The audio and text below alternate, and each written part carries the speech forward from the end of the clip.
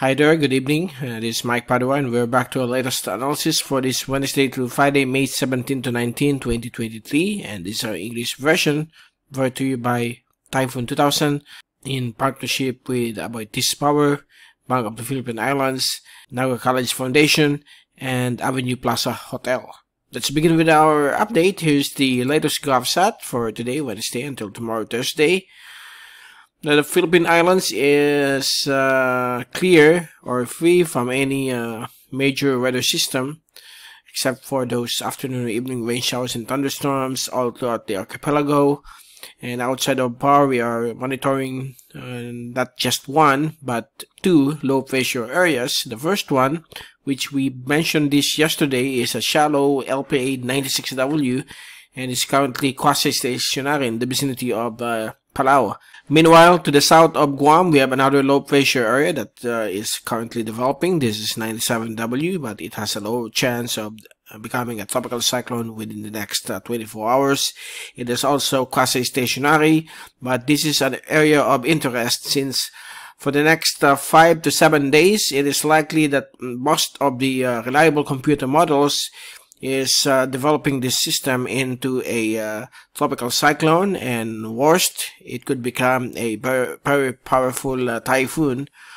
And we won't be surprised if it reaches super typhoon intensity because of the warm sea surface temperature right now across the western Pacific which is around 28 to 30 degrees centigrade.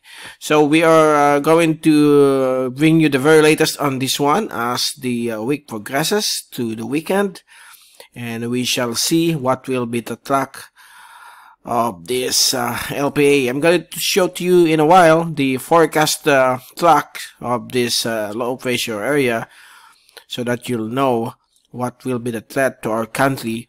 Now let's take a look at the uh, fast animation. So there you go. Here's now the uh, LPA that we are monitoring, 97W with uh, we are not going to uh, uh, focus our attention on 96W. This, this is somewhat a dissipating system, so it's more on this uh, uh right. It's more on 97W that is keeping us more attention as we move into the third week of May. And if you take a look at the zoom in solid animation, there you go, beginning around uh, 2 o'clock in the afternoon as of this time there are lots of thunderstorms that affects uh, the uh, various sections of the country from Mindanao, Visayas, and portions of Luzon. And if we take a look at the wind and pressure forecast from the European model, by tomorrow afternoon, we could expect some light southwesterly winds affecting uh, Batanes and Babuyan Cubeb Islands, while variable to uh, light winds in uh, in different directions will be expected across the uh, Philippine Islands. And on Friday afternoon, we expect uh, the southwesterly to westerly winds to prevail across Batanes, Babuyan, Cubeb Islands, while the rest of the country will remain under calm to variable winds. And here's now the LPA on Friday.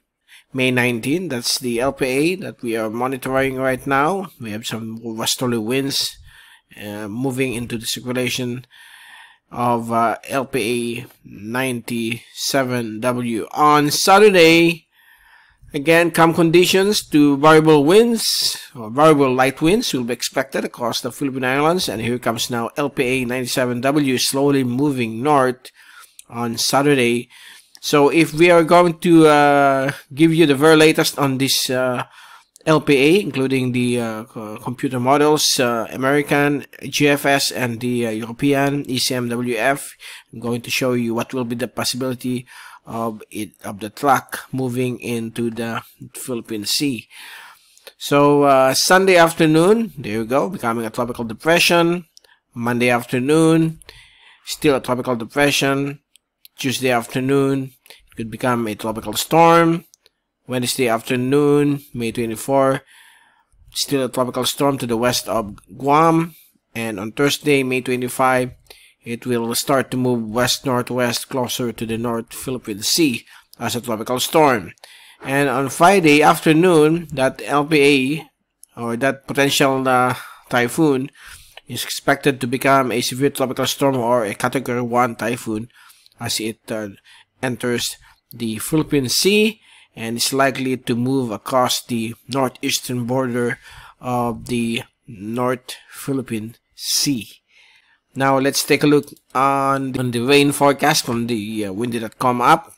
So by tomorrow afternoon, we expect more thunderstorms in various sections of the country, as well as on Friday and on Saturday. So that will be the outcome. Every day we are expecting these thunderstorms because we are now approaching the uh, monsoon season, which is set to begin by June. But if the uh, projected uh, tropical cyclone moves into the Philippine Sea, we will be having the first taste of the uh, southwest monsoon across the western sections of the country as we uh, continue to uh, move into the month of June. Okay, so that will be the forecast to Saturday, and if we move into Sunday, there are still some chances of thunderstorms in various sections of the country. Okay, and now before we uh, leave you, here's the uh, Global Tropics Hazards Outlook from the Climate Prediction Center, issued every uh, uh, Wednesday, uh, actually every Tuesday and every Wednesday. We are giving you now the latest on this one.